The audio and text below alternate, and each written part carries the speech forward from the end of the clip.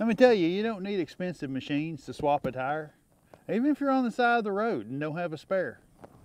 This is a skill I use quite a bit since I'm always picking up junk, uh, I mean projects, that have oddball tires, oddball wheels. So I need the ability to swap stuff back and forth on the fly. This trailer was a recent auction purchase. It came with a flat tire free of charge. It wasn't the right size. I did have an extra tire, but I didn't have a wheel to fit. So I went ahead and swapped a new tire onto the wheel right there. Wasn't really the right size, but it was good enough to get me home. Now I went ahead and put the original tire back on so I can show you how to pull this tire and repair it. Now I'm only going to use the tools that I normally have with me. And just to make it a little bit more challenging today, it rained just enough to be 100% humidity. Well, first things first, let's lift the trailer with our farm jack. Now, this is my favorite way to lift a trailer since I don't have to crawl on the ground and try to shove the jack underneath the axle. I got that feeling I can do this right. Even when the sun's blazing hot and bright. So It's always my favorite jack. It's so much easier than climbing underneath it. Just for comparison's sake, I'm gonna tell you, I live about 15 minutes from the tire shop one way. So if I was to take this to a tire shop, it's gonna take me 30 minutes travel time and probably at least 20 minutes at the shop to get it fixed if there's no waiting. So I'm looking at 50 minutes to repair this once this is off the trailer. Just for the fun of it, I'm gonna kind of throw up a timer and we're gonna see how long it actually takes me to do this. So is just for fun. This isn't scientific. So let's get this wheel off here. Now I'm gonna go ahead and use an impact wrench here. I always carry one of these with me, but any lug wrench will do the job, obviously. You only need four. They only put they put five on there just for fun of it. That way you have extras.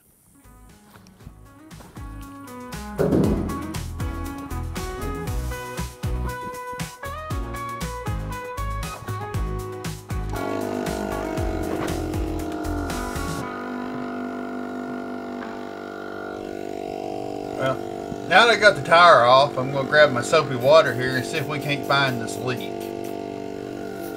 Well, that wasn't really hard to find the leak, considering it's spitting liquid up in the air. Let's go ahead and mark the leak real quick. And then go ahead and mark where the valve stem is at. It's not real important on the trailer tire like this, but it's a habit I like to stay in. That way, if you're working on another vehicle, you know, your regular tires, you can keep the balance the same. Now, you need to go ahead and get the valve core out of here, even though this thing's flat. You don't want any pressure in it when you're trying to get this bead off. Now, I like to use this bead breaking slide hammer. And sometimes you got to work it around pretty good, you know, or you don't. It normally takes a little bit more hits than that, but that, that's okay. I'm not going to turn down easy. But what you do is you just usually stand on it and work your way around. In my case, I'm just going to work my way around apparently. But if you notice, the tire is already coming loose as it works its way around. And that's how bead breaking slide hammer works. Alright, well now we're going to go ahead and get this tire off the rim. The easy way to do this is start out with these two tire irons. I like to use this big black one, let it lay over and let gravity hold it. Then I just start working just a little bit at a time, taking small bites with the pointed end of the this tool. And you notice that I, how I swing the tool each time because that brings it loose from the tire, just like that.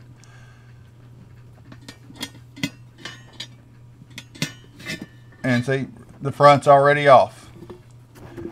Now, if I do this right, I can reach in with the black tool here and I'll hook it and wrap over the top of the tire and it just literally lifts the wheel out of the tire.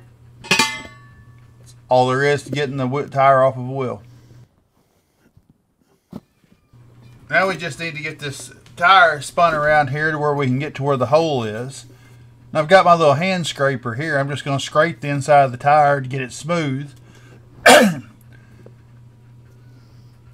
that way the patch will stick good.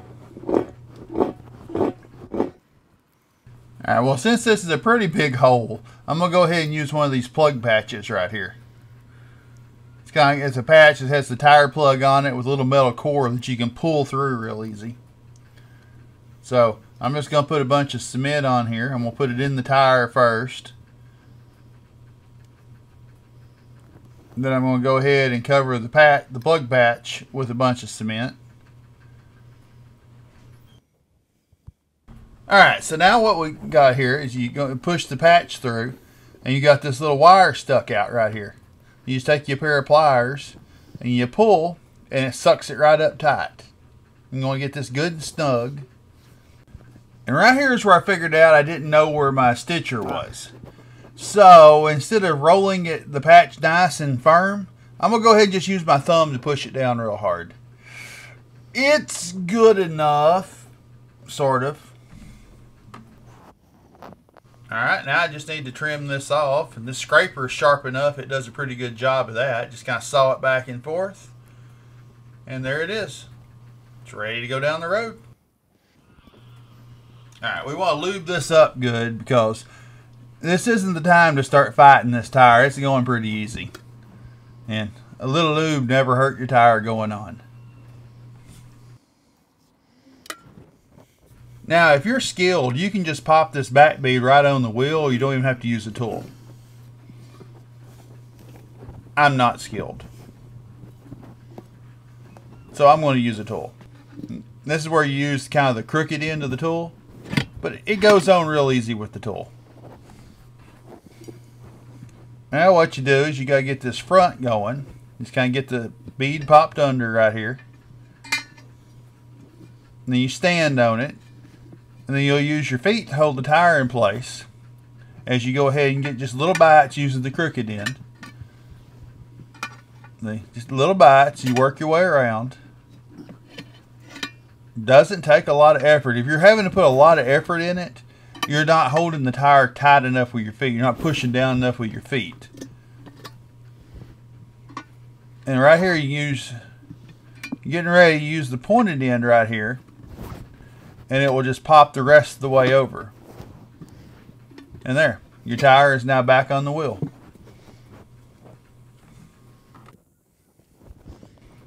I just want to make sure it's still lined up with our mark on the valve stem. And since we're using a little 12 volt compressor, I'm just going to go ahead and put the valve core back in because flow is not really an issue on one of these compressors. So you're not going to seat it with a whole lot of power. Alright, well we'll get our air compressor hooked back up here. Okay. Yeah. Get it off the ground. Because you don't want to sit here and, and seat one of these tires with it on the ground.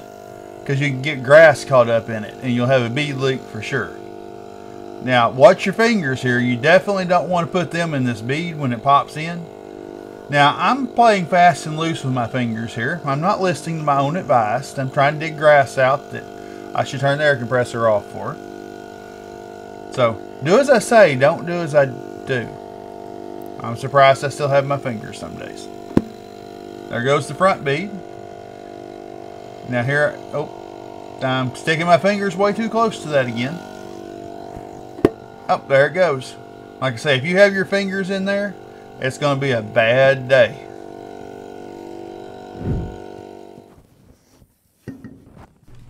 Alright, now we just need to get this tire back on the trailer. Pretty easy. Just got to get these lug nuts started. Now, you always want to be careful starting your lug nuts because you don't want to cross thread them and then use the impact driver to drive them on in. I know it's nature's Loctite. They won't come loose if you cross thread them. But they also won't come loose if you need them off. Trust me. Been there. So, and I'll admit, the one of the, the studs here gave me a little fit. It wasn't going on very easy. And as you can tell, it's a little hot, and I'm getting a little wet, so I may have been getting frustrated.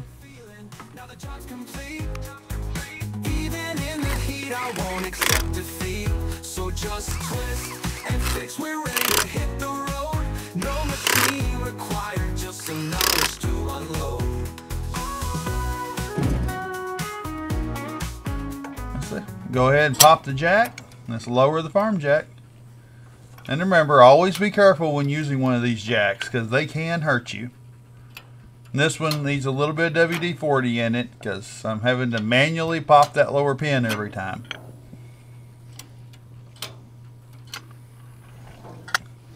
There it goes released. Job looks finished. And I am hot. Well, 10 minutes 47 seconds is not bad. I couldn't even make it to the tire shop in that amount of time. So remember, the next time somebody tells you you need a machine to change a tire, you just you really just need simple tools and a little bit of work. It's not that hard. But if you're going to do this, I do recommend practicing at least once in your driveway. Since you really don't want to be your, your first experience be on the side of a busy highway. While not everybody needs this skill, it is one that's handy to have in your back pocket. And you're guaranteed to impress your friends if you need it one day.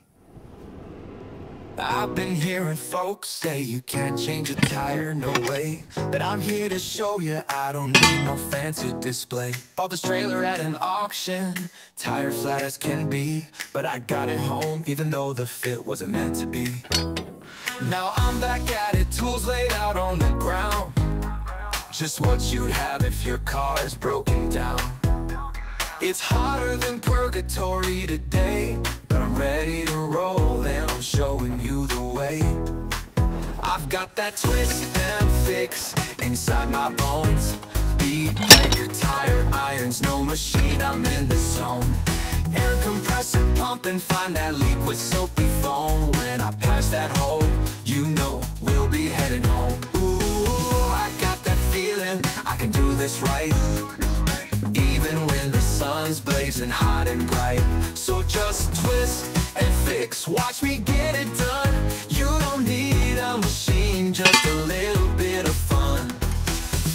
lifting up, get that tire in the air Wipe the valve stem, find the leak, handle it with care. Bead breaker, slide hammer, making it a breeze. Tire irons, lifting it off, yeah, do it with ease. Now it's time to patch that hole. Plug it tight, scrape ring, glue it down, roll it out, it's airtight. Liberal with the tire soap, slip it back on slow. Front beats tricky, but I'm in the flow. I've got that twist and fix Inside my bones, bead breaker, tire irons No machine, I'm in the zone. Air compressor pumping, find that leak with soapy foam. When I patch that hole, you know we'll be heading home. Ooh, I got that feeling, I can do this right. Even when the sun's blazing hot and bright. So just twist and fix, watch me get it done. You don't need a machine, just a little bit of fun. Stop stem lined up, compressor starts to hum. Beat seats tight, yeah we're almost done Just don't do it on the grass or it'll leak slow. Wiggle it around, air it up and then we'll go. I've got that twist and fix inside my bones.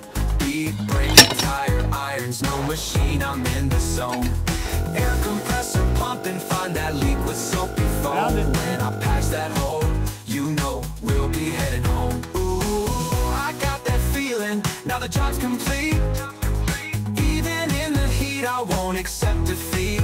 So just twist and fix, we're ready to hit the road. No machine required, just some knowledge to unload